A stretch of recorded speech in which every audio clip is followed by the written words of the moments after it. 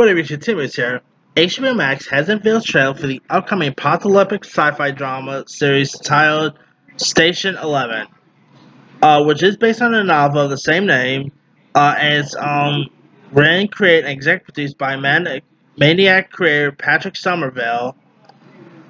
Uh, the um, Station Eleven stars the likes of Mackenzie Davis, Himesh Patel, who was pretty good in that movie yesterday, uh, Daniel Zovatto, David Wilmot, Matteo Lawler, Philippi Village, Nabhaan Rizwan, and Lori Petty with Gael Garcia Bernal and Danielle uh, Deadwyler.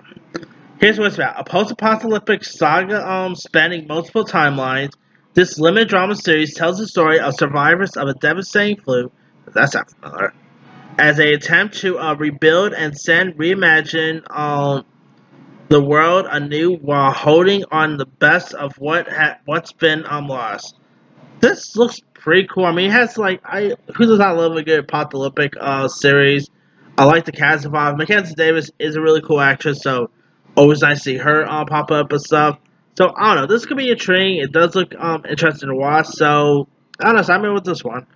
Uh, I mean, I like Himesh Patel. Like I said, he was great in that Beatles film yesterday.